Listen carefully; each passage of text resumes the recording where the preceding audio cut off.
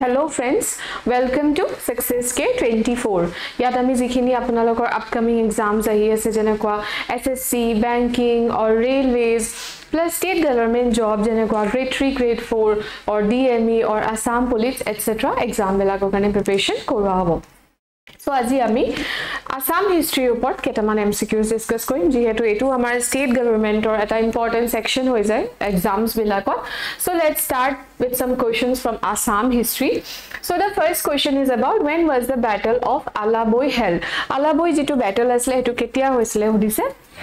So it was held in the year 1669. So Battle of Alaboi to kiho karne important hoy because Assam history etu eta most tragic battle buli consider kora hoy. The most tragic battle buli consider kora hoy. And uh, Battle of Alaboi kar kar mazot hoisle that is also important. Mughal and Ahoms or Mazot Hoisle, Mughals and Ahoms, and it is considered as the most tragic battle because ki karane hoisle? Because Amar Jikhini Assamese soldiers, Ahom soldiers, around 10,000 soldiers have lost their lives, and Mughals Hokol victorious hoisle, and Ahoms Hokol defeat face hoisle, and that is why it is considered as the most tragic battle in Ahom history. Okay, so next question. Joymoti was torture to death in মানে জয়মতীক কোনটো জেগাত torture কৰি মাৰি পেলোৱা হৈছিলে সেইটো সুধিছে কুৱেশ্যনটো চ' জয়মতী কোন আছিলে? She was the wife of Gadapani Gadapani আমি চাইছিলোঁ যে তেওঁ এজন আহোম ৰুলাৰ আছিলে।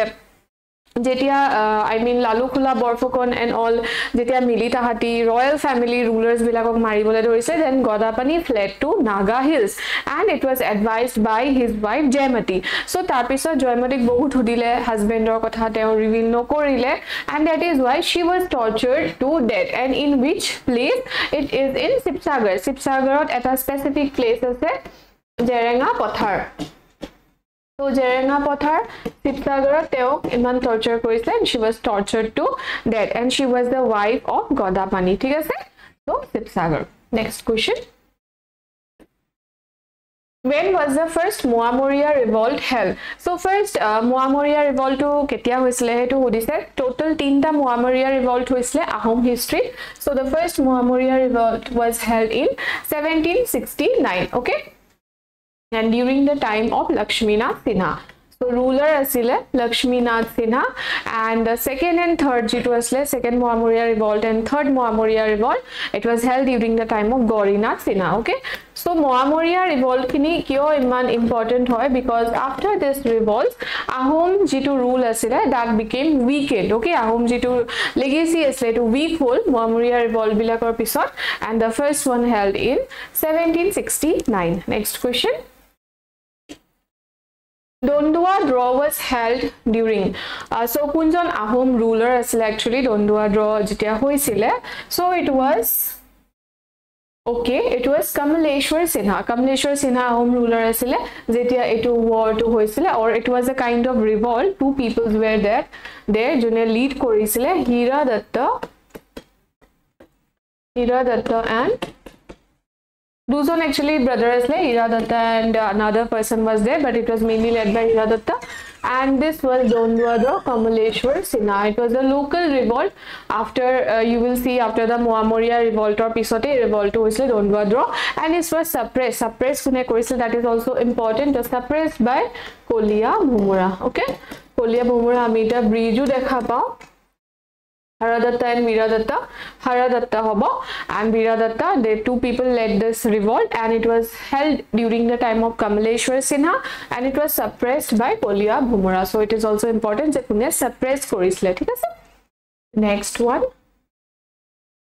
Who was responsible for calling Burmese in Assam? So Burmese okolok amar Ohomod matisile kune kun responsible asle that is important. There's a story behind this. Je kun responsible or invasion o karone. So it was Badan Chandra Borfukon. Okay, Badan Chandra was the Borfukon and he was growing very powerful. They both power enhance asle and it was not liked by the king and the Bura Guhai. So Bura Guhai besides Purna Purnananda was there.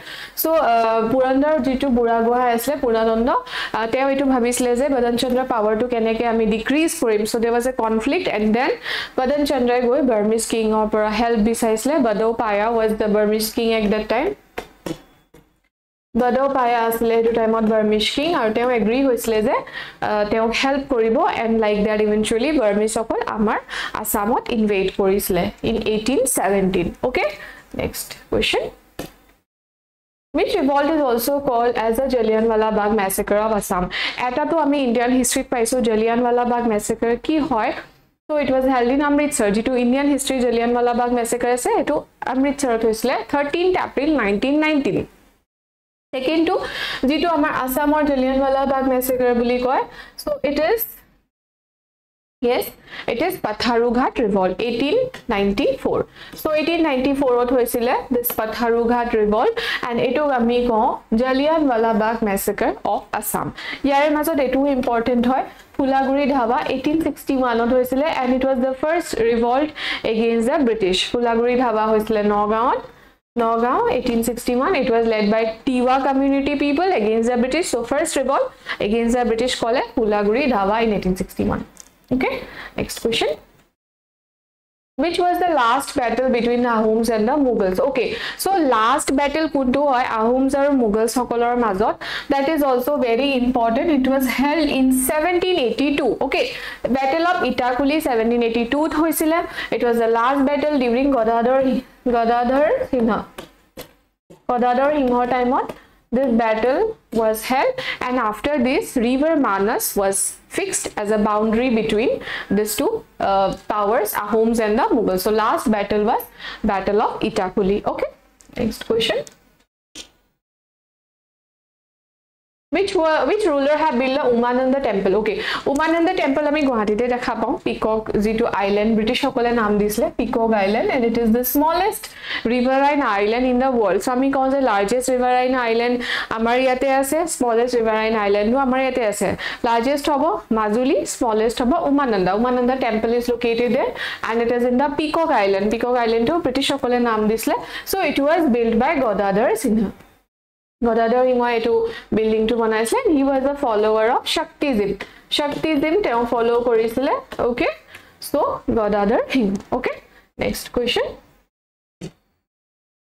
which ruler have given royal patronage to bihu so royal patronage bihu kune dise buli hudise so who was that ruler it was Rudra Sinha. Rudra Sinha time out cultural development reached its zenith. Cultural development, our culture, architecture, it was developed and uh, here uh, he was the person who gave the royal patronage to Bihu. Okay. Next question.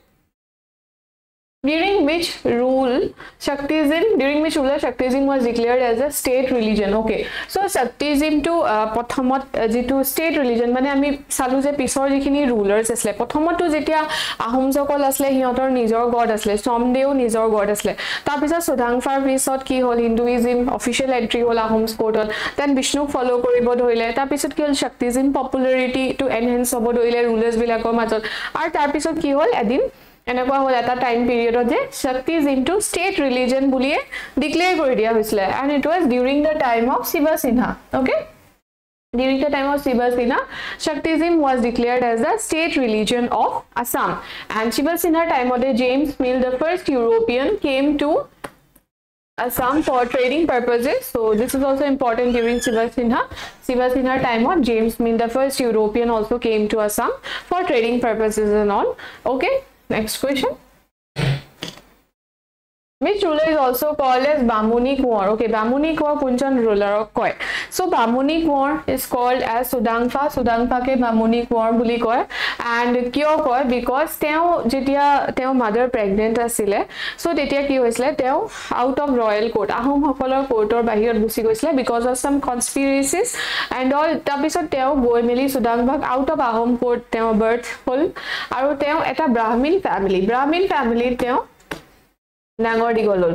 চ' সেই ব্ৰাহ্মীণ ফেমিলিত ডাঙৰ দীঘল হৈয়ে তেওঁ যেতিয়া আকৌ next Ahom ruler বনিলে then তেওঁ যেতিয়া আহিছিলে কোৰ্টলৈ এই ব্ৰাহ্মীণসকলকো নিজৰ লগত লৈ আহিছিলে। And that we consider as a official entry of Hinduism in Ahom sport so' Sudangpha or Bamuni Konwar তেওঁ টাইমতে official entry of Hinduism in Ahom school তাৰপিছত Vishnu and Chomdeu parallelly worship কৰা হয়।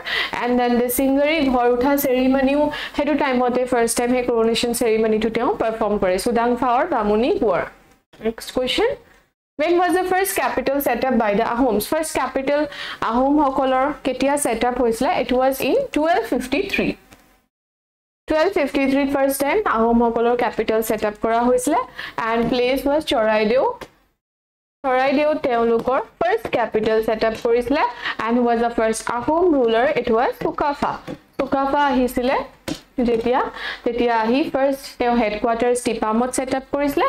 And যিটো capital হয় এইটো চৰাইদেউত set up কৰিছিলে okay next question who was the first ahom ruler? So first ahom ruler obviously it was sukafa আমাৰ ইয়াত আহিছিলে বাহিৰৰ পৰা। মাউলুং হেৰি চাইডৰ পৰা আহিছিলে মাউলুং চুকাফা বুলি সেইকাৰণে আমি কওঁ and he was the first ruler ঠিক আছে? So' twelve fifty three headquarter set up কৰিছে Charaideo then headquarters in Tipam and capital in Charaideo okay next question who was the first ruler of Burman dynasty? Okay, so Assam history, ami first phase to sounds a mythological period start hoy. Okay, so mythological period started after then, uh, and a proper history, ami kite pa jana jai. যিটো mythological period হয় সেইটো and হোৱাৰ পিছতে Barman dynasty start হয়। So' the first ruler was Pushya Varman Pushya Varman was the first ruler of Varman dynasty and Bhaskar Varman was the last ruler of Varman dynasty ঠিক আছে he was the most popular ruler of Varman dynasty so' and of mythological period Varman dynasty started আৰু তাৰপিছত আমি চাওঁ যে আহোমসকল আহে আৰু প্ৰপাৰ ক্ৰনলজি এণ্ড অল সেইবিলাক মেইনটেইন কৰে history proper writing and all আহোমসকল অহা পা যিটো আমি বুৰঞ্জী বুলি কওঁ সেইটো ডেভেলপ হ'ল under the Ahoms. During which ruler the first Moamoria revolt held so' first Moamoria revolt কেতিয়া হৈছিলে? Yes it was during the time of Lakshmi Sinha so' Lakshmi সিনহাৰ টাইমত ফাৰ্ষ্ট মোৱামৰীয়া ৰিভল্ট হৈছিলে আৰু তাৰপিছত ছেকেণ্ড আৰু থাৰ্ডটো মই কৈছোঁ যে গৌৰীনাথ সিনহাৰ টাইমত হৈছিলে। অ'কে অ'কে সো আজি আমি আসাম হিষ্ট্ৰী কেইটামান important M C Qs discuss কৰিছোঁ যিকেইটা ষ্টেট গভৰ্ণমেণ্ট জবৰ কাৰণে বহুত ইম্পৰ্টেণ্ট এটা ৱেইটেজ থাকে আসাম হিষ্ট্ৰী ছাকচেছ কেয়াৰৰ যিটো আমাৰ নেক্সট বেচ আছে সেইটো টুৱেণ্টি ফিফ্থ অগষ্টৰ পৰা এটা বেচ অলৰেডি ষ্টাৰ্ট হৈ গৈছে এডমিশ্যনছ অলৰেডি আৰু হৈ আছে যদি আপোনালোকে এডমিশ্যন কৰিব বিচাৰে বা ফাৰ্ডাৰ কিবা বুকিং কৰিব বিচাৰে দেন আমাৰ ছাকচেছ কেয়াৰ নাম্বাৰটোত কল কৰিব so' that's all for today guys thank you